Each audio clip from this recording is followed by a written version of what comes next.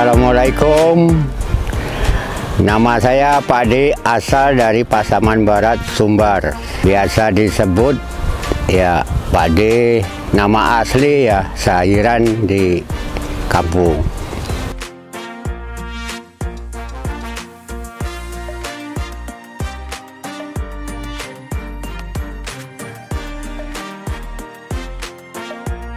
Profesi saya di sini sebagai perawatan rumput lapangan sejak mulai dari 2021 bulan 3 saya sudah di sini.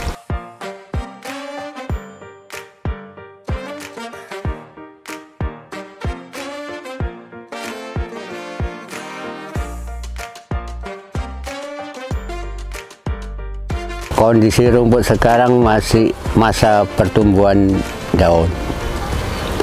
Kira-kira sampai berapa bulan nih Bang?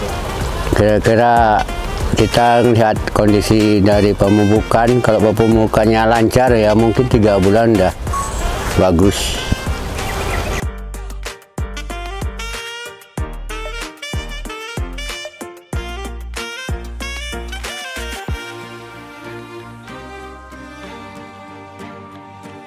Ya keuntungan di bagian pekerja lapangan, kerugian kita ya nggak bisa ada yang kita lihat di lapangan untuk latihan.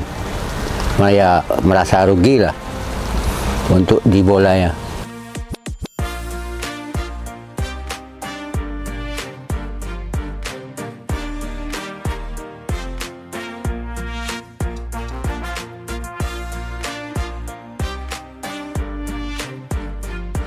Penyiraman rumput satu hari dua kali, pagi, sore, hingga kadang-kadang sampai malam.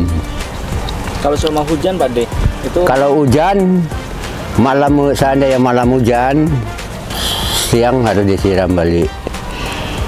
Kalau pagi hujan ya ngelihat kondisi hujannya, kalau hujannya deras, lebat ya kan, ya itu tetap disiram. Untuk pemotongannya Pak De? Pemotongannya biasa satu minggu sekali karena kondisi rumput belum merata, ya mungkinan sampai sebulan, tiga minggu gitulah paling apa. Oke.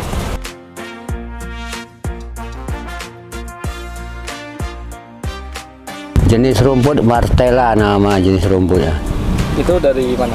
Dari Pengandaran Bandung.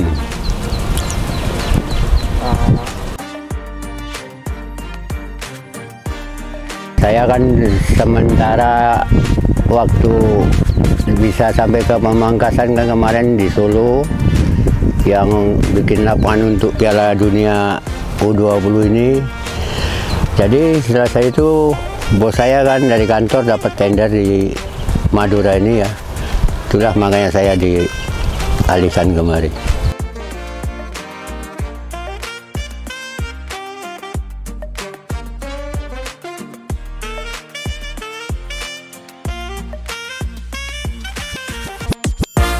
Ini lapangan kan yang lapangan utama kan ya ini bukanya 68 panjang 105 yang mini bukanya 17 panjang lebarnya 84